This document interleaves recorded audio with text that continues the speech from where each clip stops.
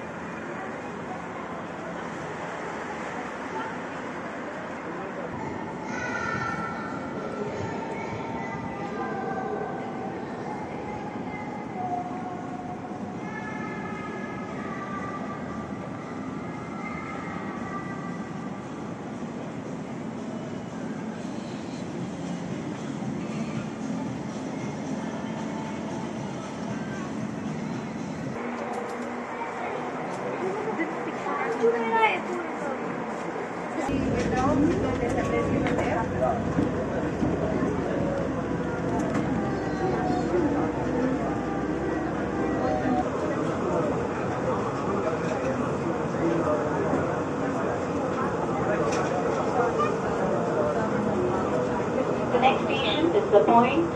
The next station is the point. Please note that only the first and the last train doors will be opened.